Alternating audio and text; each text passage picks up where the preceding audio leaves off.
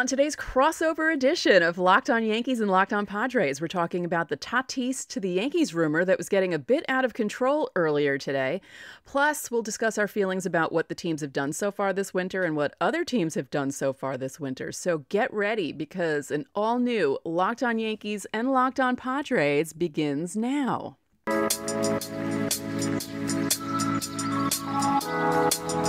You are Locked On Yankees, your daily New York Yankees podcast. Part of the Locked On Podcast Network, your team every day.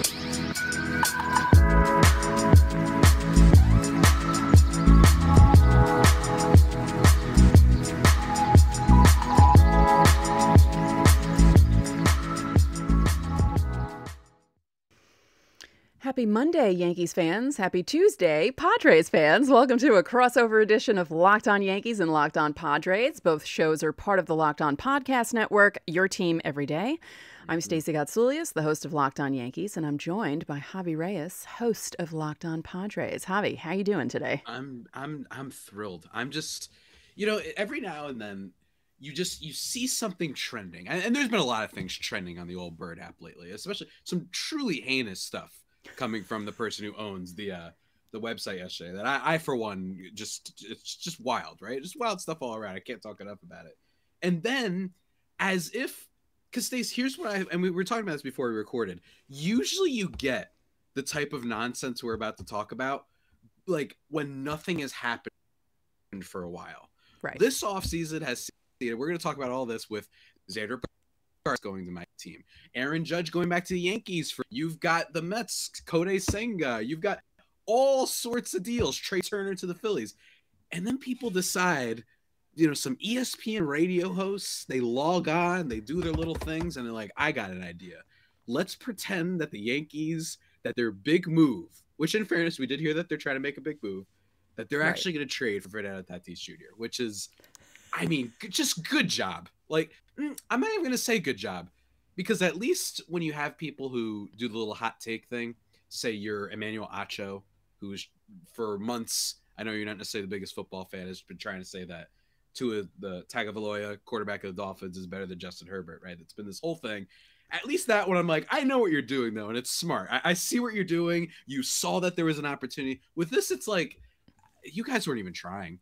You know what right. I mean? Like, there wasn't even any connection, no fluid, no tissue that made any sense here.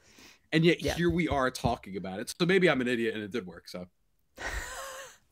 I just found it amusing because I mean, people were really running away with it. And as you said, it's yeah. not like nothing's happened. This isn't like the off seasons of the past few years where it's been quiet and like mm-hmm. especially that off season where both Harper and Machado didn't sign until yeah. Spring training oh. started and oh. spring training oh, yeah. hit. I mean, it was like ridiculous. So it is really odd that something like that happened, but it's also odd how quickly people took to it and made it seem like it was hmm. something mm. substantial and something that was actually real when sure. I mean, it's kind of a crazy scenario and we can come up with different ways to try and do this trade, but I don't know, I just thought it was really silly. It is really silly. And we're, you know, I, I want to do I want to talk about in fairness. I did this last year when after the Tatis suspension, I put out a potential trade idea. Um, and that was also in the context of in the middle of the season, and maybe they want to truly go all for it. I, I just think that one of the problems with this trade is that there's a variety of reasons for why it doesn't work, which I think we should get into right now. I, yes. I think we should just talk really quickly as to why this trade doesn't make sense. Number one, um, perhaps the most important reason when you think of this trade, what do you think of as this? Bottom line is Fernando Tatis Jr. He's got the Brady hair, he's got the facial hair, and he's a loud personality. That right. is not allowed. Right. Just X on the New York Yankees. You got facial hair? Nope. Get the heck out of here, right? Whether or not that's a cultural problem, it is, is up to everyone else to decide. Right. But whatever, right? So that's number one. And number two is we're in the middle of free agency in which Carlos Correa is currently still a free agent for uh, for hire. Right. Now you could make the argument, right, Stace, that maybe the Yankees hate the Astros so much that they're going to let the best available player on the market slip because of some weird unearned sense of self-righteousness that is totally ridiculous. But Okay, you want to make that argument, fine. But then the next thing is Fernando Tatis Jr. is under a 14 year deal. If Right. he wasn't, then maybe we could actually talk some business a little bit. Because in fairness, in a vacuum, Tatis has had an incredible he had an incredible rookie year that he was hurt a lot of the season for, but he was he was very, very good. Then he had 2020 where he was a, a basically like an MVP candidate for most of the year. He really blows up on the scene. He lands on MVP of the show. But that was also 2020. And then 2021, great season, but then he also has this shoulder issue, and then he's in and out and whatnot. But he was still incredible, finished top three in MVP voting. And then you had all the nonsense with the getting popped for PEDs and whatnot. Uh, this off season, you have the motorcycle stuff. So I I think that that's a big part of this, though, is that if he was not under a contract, maybe I could see a world in which this makes sense. The Right. Pirates just traded everything. My, they traded my, my this hat of mine. I mean, I have it back now, but they traded my hat. They traded everything for Juan Soto. So you could say, oh well, maybe they're trying to refill, and they just brought in Xander Bogaerts, right? That's where this rumor I feel like is really the the elementary understanding of this rumor, where a lot of people said, "Oh well, yeah, they signed Bogaerts. He's a shortstop, and they Mm. have." So therefore, where where could he possibly go? And it's like, Right. ah, move him to center field. He's too talented. Sure. Um, so I think that's where it came from. I think those are kind of the primary reasons for no. What are the primary reasons for no? Do you think on the Yankee side of things? I think it's the length of the contract. They have enough of Mm. those right now. Yeah. I mean, they just signed Judge for nine years. They still have the rest Yeah. of Stanton's deal. They have Cole's deal. You Right, know, they finally right. got Aroldis Chapman off the books, thank God. Um, they still have Hicks that they're trying to move. Um, Good luck. yeah, I know. Good luck with that. I said if Brian Cashman can get Hicks for a living, breathing human, I will not say a bad thing about Brian Cashman for a full 365 days. Wow. Wow. That's, That's a lot. lot. That's a lot. Aaron Hicks, you know, I was at a game when he, it was a game against, I'm going to say the Rays. It was late August with a friend of mine, a friend of ours, actually, Steve Granado. Used to Oh. was Locked on Angels. And the booze that could be heard, it was an error in the outfield. I know it was an error. He misplayed a ball or whatever. And then I remember saying to the people that were next to us who wanted to talk to Steve because they were like fascinated by the fact that he covers the minors for the Yankees. Yeah. And then um they were t- and I was like, "Oh, I feel it. The the double play is coming from Aaron Hicks." And then he Oh, yes. also the stadium was boo. I, I like feel bad for the guy. Um, if we're Yeah. being honest. Yeah, no, I do too. Because I really was hoping that he'd come back from the injury and be okay. And then it just didn't happen. And Mhm. that one game where he made the two misplays, the one where he just stared at the ball as it bounced from fair territory into foul territory and allowed guys to score. And then the ball went over his head. And it was just like, what are you doing? It was like his Chuck Knobloch moment. And I just, I do feel bad for him. And I, I'm one of those people I don't boo. I boo the opposing either. People, but I don't boo, Yeah. and I don't really do that either. Um, but I wouldn't boo my own players, and I I did really feel bad for him. And I mean, it got to the point where Aaron Boone was like, "Yeah, we gotta take you out." Yeah, it, like- it got to that point. Um, Yeah. And on the other spectrum of things, with Tatis, it's gotten really bad Mm. because the dude is just doing all sorts of dumb stuff. So I just don't think the Yankees want to touch that right now. no, Um, now, if he wasn't under contract and a team let that stuff interfere, I think they're moronic and shouldn't run a baseball team. The Right. bottom line is he's way too talented and way too young. If he wasn't already signed, I think that he probably is the most valuable asset in all of baseball. If he was on the trade block and not didn't have a contract with it, what it is, and in fairness, his contract, I mean, you know, salaries will go up and whatnot. It's not totally incomprehensible, but like you said, with the Judge contract, with Cole, with Stanton, that I think ends in like 2029 or something like that, which is something wild. crazy. Yeah, Like, holy God, that is that is not. Oh man, we're already seeing that not age well. Um, so for all those reasons, I just can't see it. That being said, just in a vacuum, I would like to ask you, like, what kind of pieces would it be possible that the, I think that obviously, if this trade were to happen, I think Anthony Volpe obviously has to come back. One of the top prospects in baseball. He's a shortstop. Uh, there we go. The next one would probably be Jasson Dominguez because everyone and their mother seems to talk about the guy for Yeah. ill or not. Uh, people who are overrating him. I've heard some people from a questionable sports podcast be like, "Oh, I wouldn't trade him for Acuna," and I'm like, "All right, you, you Yankees fans are out of control right now." But he would probably be part of the package. And Yeah. then another name that's been thrown out there is Nestor Cortes, which, oh my god, I mean, I, I love him, I adore him.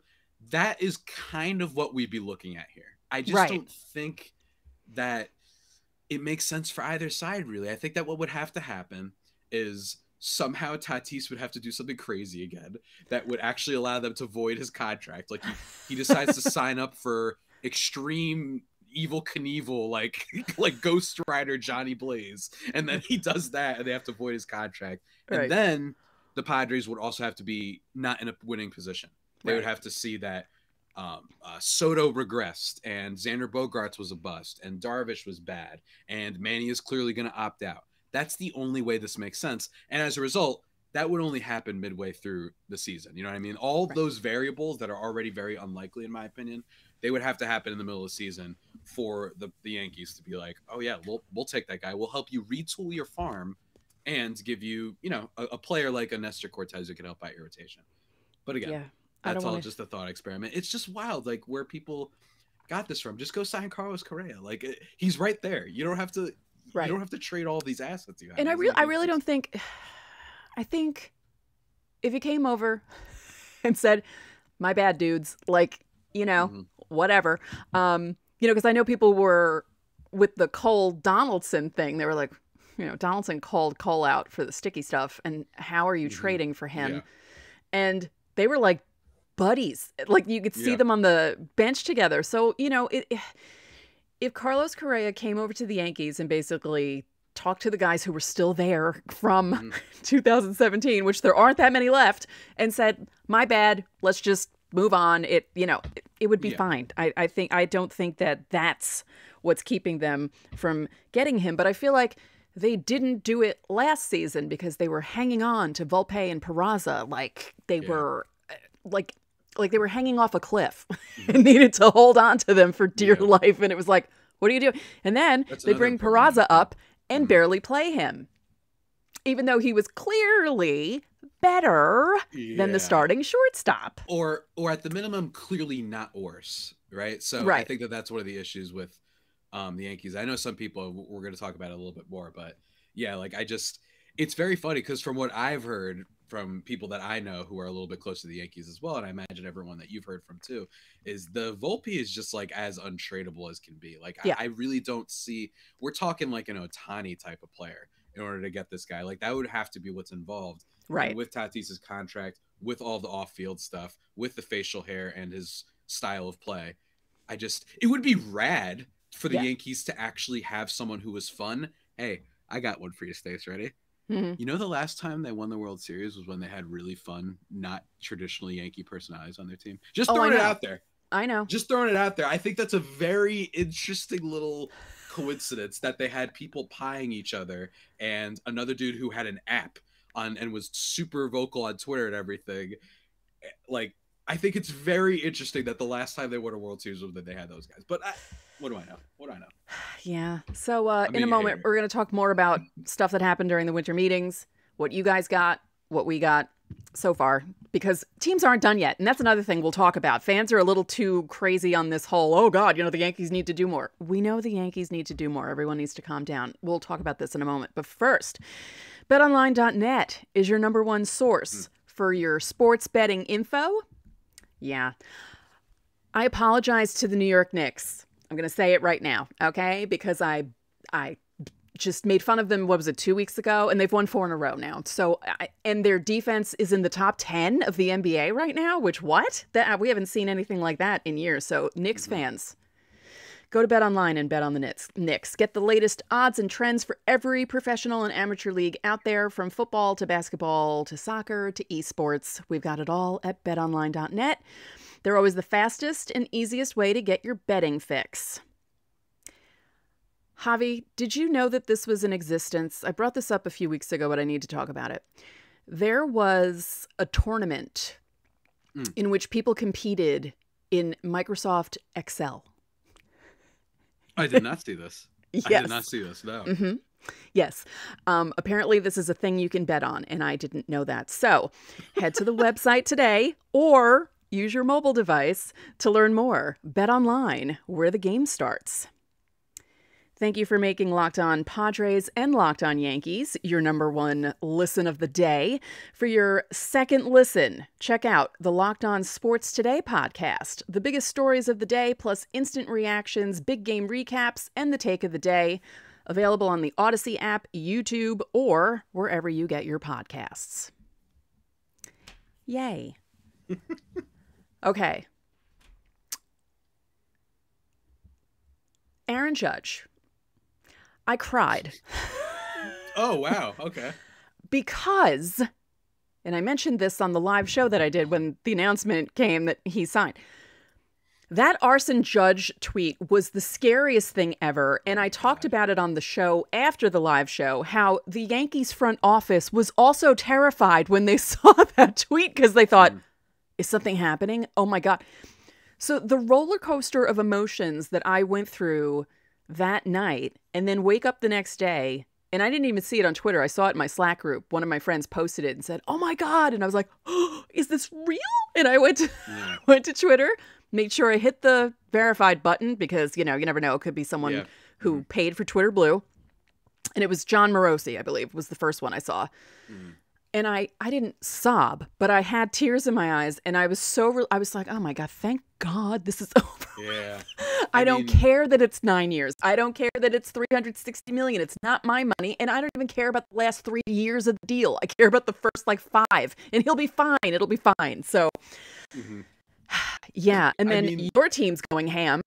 Yeah, I mean, both of us have had some really great moments this offseason. And I, I understand because with the Yankees, it was more of a, oh, well, he's not going to.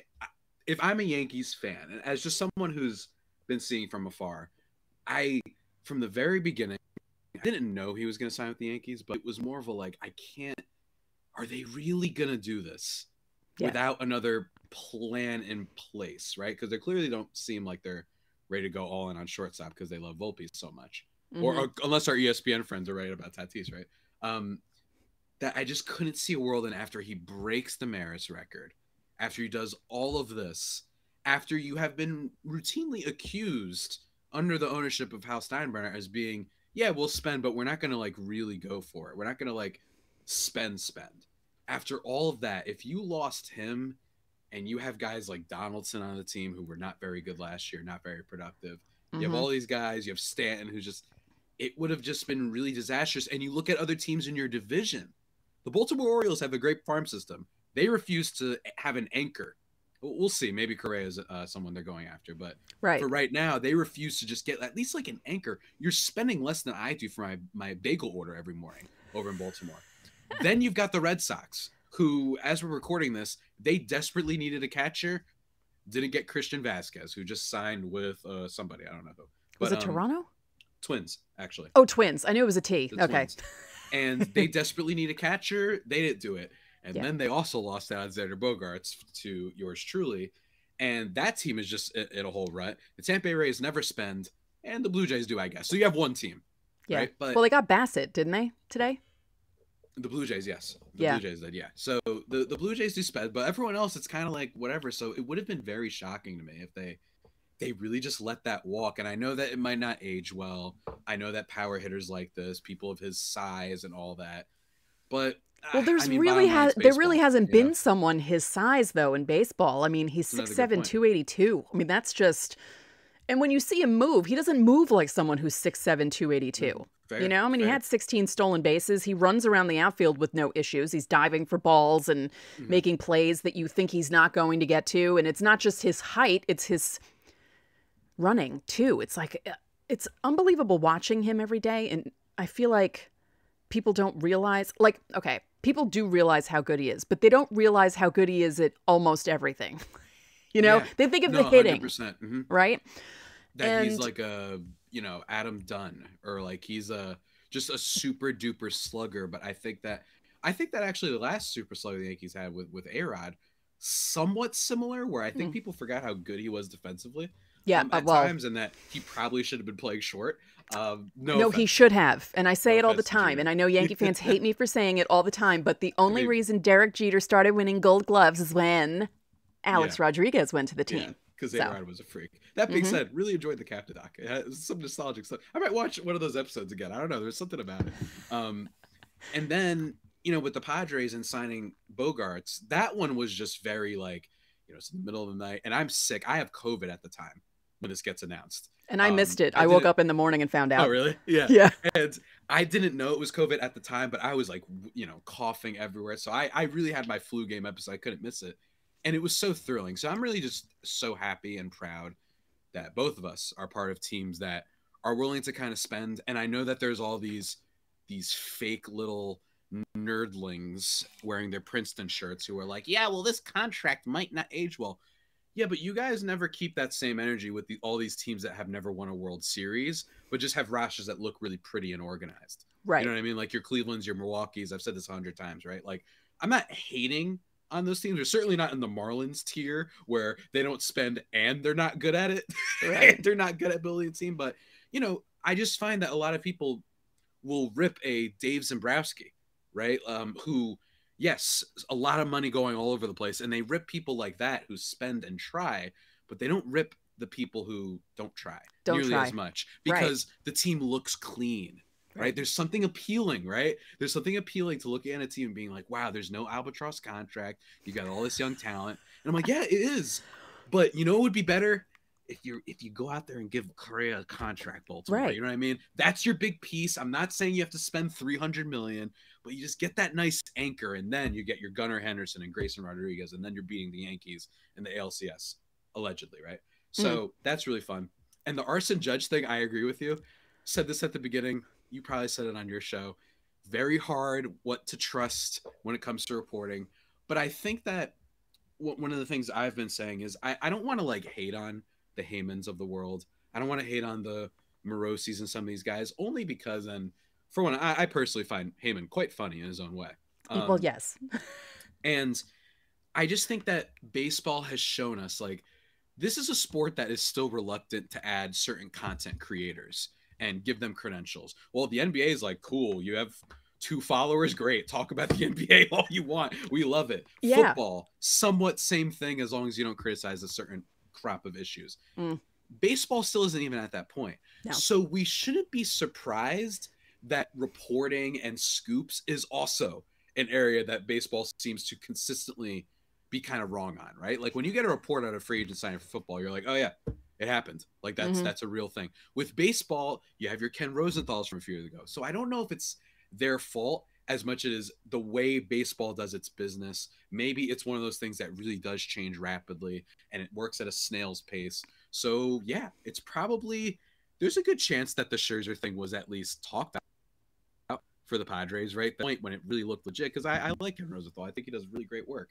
I just think that for the sport that has for the sport that's even figure out to use eight uh, instant replay until not too long ago, it shouldn't be very surprising that it also doesn't know how to be conducive to a a journalistic standard if that makes any sense whatsoever. So yeah. that's that's kind of my feeling on it. Yeah. Um yeah the thing that drives me crazy about baseball is they just god. They basically alienate their younger fan like they're trying to yeah. like they, they talk about how old baseball fans are but they don't do anything to bring in the younger fans it's like, hello? Like, I don't understand. Also, my haha laugh sounded like Nelson from The Simpsons. I'm so sorry. I don't know where the hell that you came did, from. You did for a second there. I will say, Feel the Dream games, Feel the Dream games. The Field of Dreams game was very cool. My only beef is why did you follow up one of your best ideas you've had with the Reds and the Cubs the next year? What are you doing, baseball?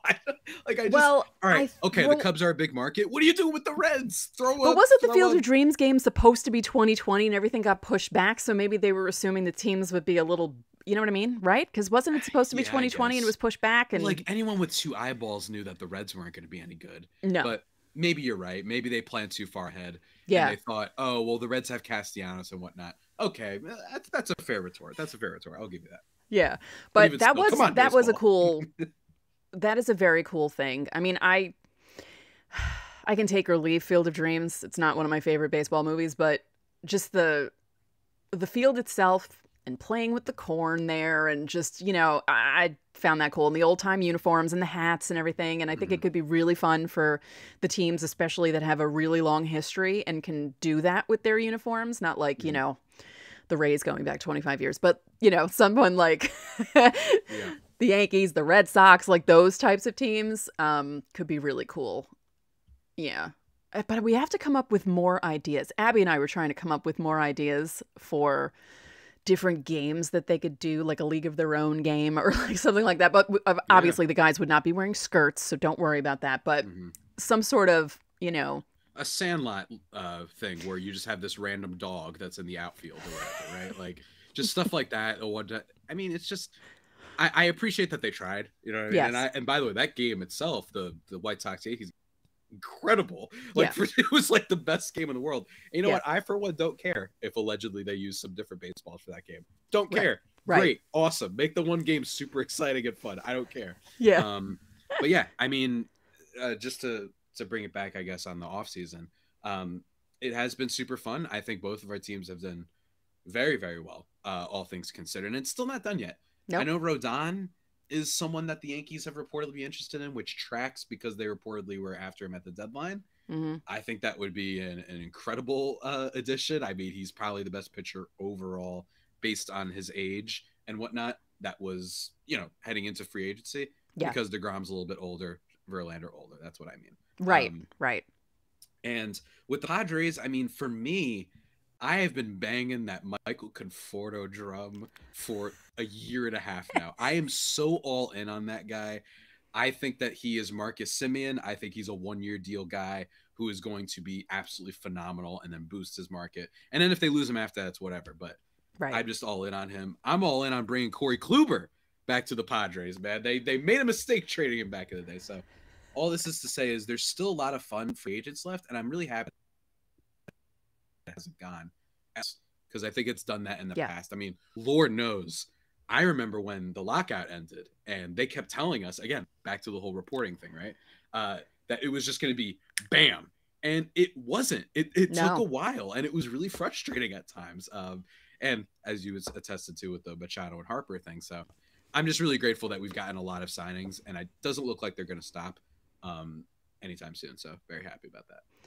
So, in a moment, we're going to discuss what other teams have done because the uh, Mets are going ham. So, we'll talk about that. But yeah. first, at Locked On Yankees and Locked On Padres, we believe home should be where you and your family feel the safest, especially over the holidays. So, this season, give yourself and your family the gift of peace and protection with the number one rated home security system, SimpliSafe. Right now, SimpliSafe is offering Locked On Yankees and Locked On Padres listeners 40% off a new security system. But don't put this off. SimpliSafe was named the best home security system of 2022 by US News and World Report for the third year in a row. In an emergency, 24 7 professional monitoring agents use fast tech technology. So let's say that again, sorry. Fast Protect technology exclusively from SimpliSafe to capture critical evidence and verify that a threat is real so you can get higher priority police response. So if a raccoon walks by your window, they won't call the police. SimpliSafe is a whole home security system with advanced sensors for every room, window, and door. And it has HD security cameras for inside and out, motion detectors that only alert you when a threat is real, and it even has hazard sensors that detect fires, floods, and other threats to your home. With the top rated SimpliSafe app, which you can use on your phone, stay in complete control of your system, arm or disarm, unlock for a guest, access your cameras, or adjust the system anytime, anywhere. So if you're at a Padres game or a Yankees game, you can check your phone and make sure that your house is safe. Don't miss your chance to save big on our favorite security system. Get 40% off any new system at simplisafe.com slash locked on MLB. That's simplisafe.com slash locked on MLB. There's no safe like SimpliSafe. Well done. No one's safe from the Mets. the Mets wrath. The Mets, the Big Daddy Steve Cohen. Am I right? I mean, he's you want every owner to be like this, though. Yeah, hundred percent. And I think that there's some case to be made that making other owners look a little bit bad, and that it increases the the the the, the parity or it decreases the parity maybe in baseball where it's just kind of like You're going to have this $400 million team, whatnot. My counter to that is it's not like we were seeing signs that those smaller market teams were about to be like, all right, you know what? Yeah, let's spend a little bit. And Right. then they got shut down when they saw what Cohen was doing. No, Right. they never showed even the slightest inkling. The Tampa Bay Rays don't give a flying F about that. I promise you. The Cleveland Guardians do not care. The Oakland the Oakland A's don't even know how to trade their best players properly, right? They don't even know how to get a good return for them. So I think that there is a universe in which I could see, yeah, maybe going that much investing might not be great overall for the league. My response to that is, well, overall, we haven't seen an inclination that any owner was going to anyway. So Right. Steve Cohen coming in and doing it anyway, I think is good. I, I really do. I think that it's putting the Mets more on the map.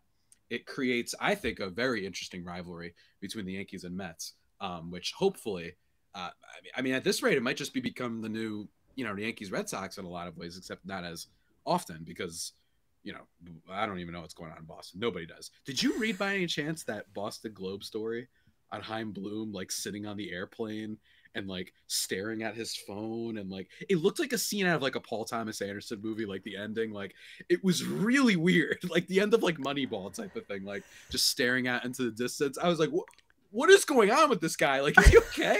uh, so that was that was the whole thing. But yeah, I mean, the Mets, Kodai Senga, Justin Verlander, they re-signed Brandon Nimmo, uh, and they've probably done something else by the time I finish speaking. So it's, right. They might have signed two really players see. while we were recording this. it's it's the percentages of that happening is greater than zero. Yeah. And that says a lot. Like that it could literally happen as we're recording this. The Padres are kind of in that situation. It's very, very funny.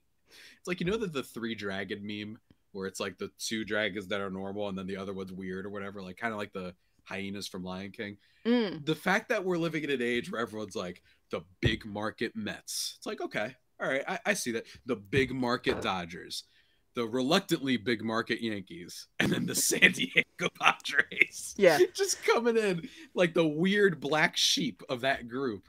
Yeah. And they don't care. I wish that they might spend a little bit more smartly, but bottom line is I, I just the fans and everybody absolutely love it. And with Yeah. the Mets, I think it's pretty. I mean, we already said it, but I think it's really good for the sport, and it's it's kind of fun. What is it like for you as a Yankees fan, though, seeing the Mets kind of do what you're used to have seeing for the past millennia uh, that the Yankees used to do? um, good for them. But, you know, money doesn't always buy championships because if it did, the Yankees would have won a lot more than they did.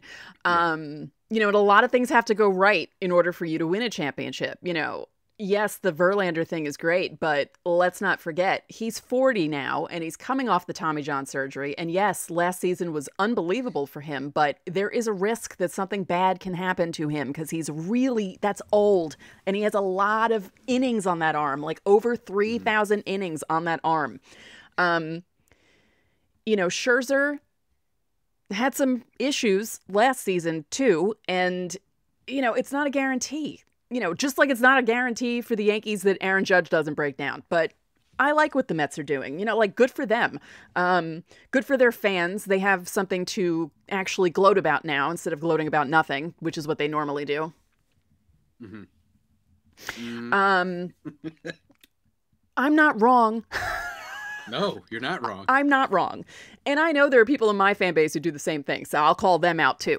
Um, but no, good for them, seriously. Like, this is actually fun because if Steve Cohen keeps doing this sort of thing, it's going to wake Hal's ass up. And, you know, I just love the fact that the Yankees were so freaked out by the arson Judge tweet that Hal called Judge from Italy and was like, okay, what do you want from us? yeah, right. I want a ninth year. You got it. Done. That's Are all they sure needed to that do. Are we Yeah. sure that happened? Yeah, there was a story about it by Brian no, I know, I know, but I'm like, are we sure? I think Guy, so because owner, you know owner who's been no no or hold on. The conspiracy hobbies making an appearance all right? Here we go. Owner who's been getting ridiculed in the media a lot has not even that he was getting booed by the fans. and then right after the contract thing comes out they're sure to have all these reports that are like hey Hal made the call Yeah. Well, saying, no, folks. Hal said on the, the truth what is No. the real truth Hal said on the uh, Hot Stove show um, a couple weeks before the signing that he had a Mhm. one-on-one conversation with Judge, and he basically asked him, "Do you want to be a Yankee?" And I said this on my show. I think I said it the day after the signing. So not during the live show. I think during the next show. Why on earth?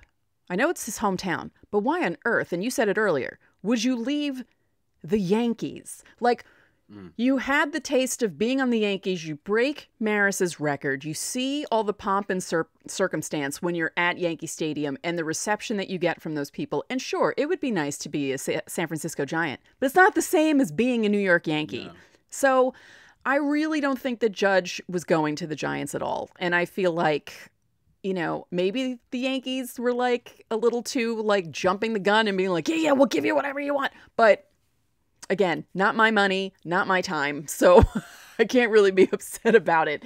Um, but yeah, no, Hal didn't want to be booed again. He would have been mm. booed vociferously for like five years straight every time he set foot on that freaking field for any kind of, you know, the 25th anniversary of the 1998 World Series is coming up in 2023. You don't think the Yankees are going to have some sort of ceremony there and that Hal's not going to be there? Please. So he would have been booed off that field like he was during the Jeter Hall of Fame ceremony. And nothing had happened up at that point. Just the, you know, the Yankees were doing horribly in August and people were booing him like he had committed murder. And, mm Hal's the type of guy that that actually affected him. It really did. Yeah. You could tell it affected mm-hmm. him. This, this he, doesn't feel like a. Now, John Henry of the Red Sox is just nowhere to be seen, so maybe that's part of it. But mm. yeah, Hal does it strike. I think he wants to be liked a bit. He knows that it's the Yankee town. Yeah. But I will say with the with the judge thing, it's not impossible that maybe he saw what happened with Gallo, and he was like, ah, yeah, but this place, if you if you blow it, man, this this this is tough out here. So maybe maybe that played a little bit, but you're right. I mean, it's just and the the big part of this is that he was homegrown. Um, yeah. And the name is sick, and the record. I, I think that that plays into it too. Like he's he's always been a Yankee, and I think that that. And what would they have done with the judges' chamber? You can't get rid of that. Come on. Yeah, I mean that's that's next level, man. Are you kidding me? that, that, that, that's you're in business, you know. Yeah. So yeah, the Mets are going ham. Um, the A's was it the A's, Milwaukee, and who was the third team involved in that trade for Sean Murphy? Braves. For the Braves, yeah, the Braves get Murphy.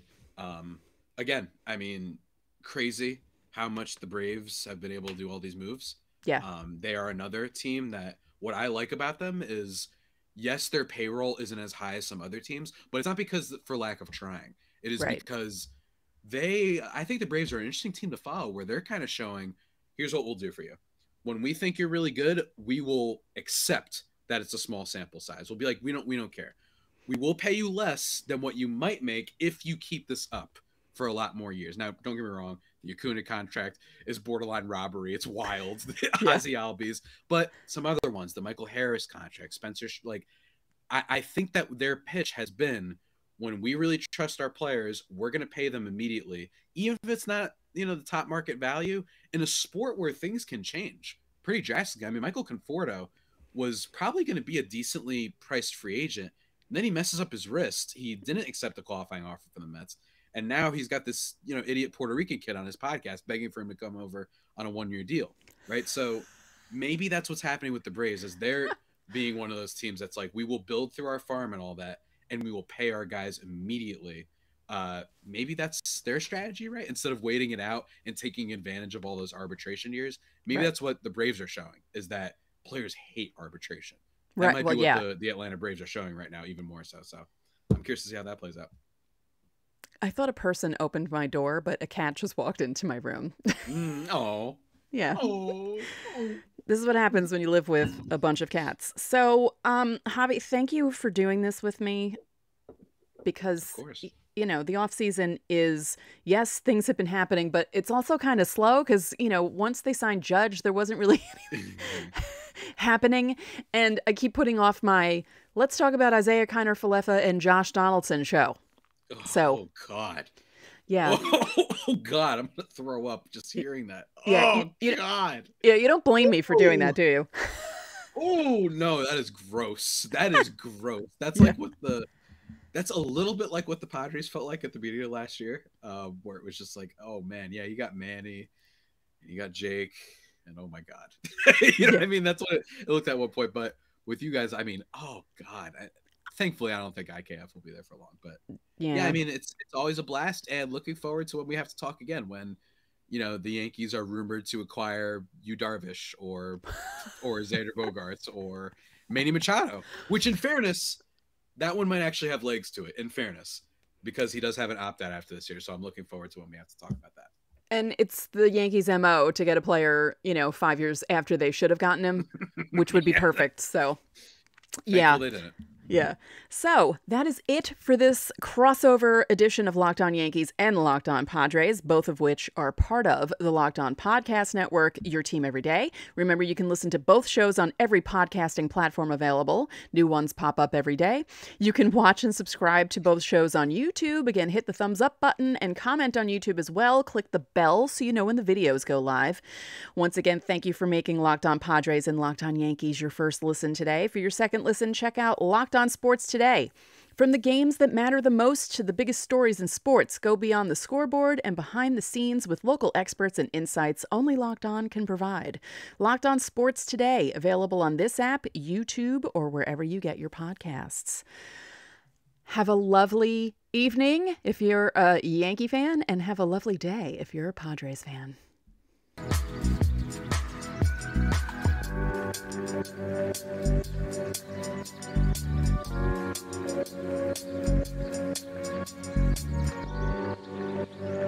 you.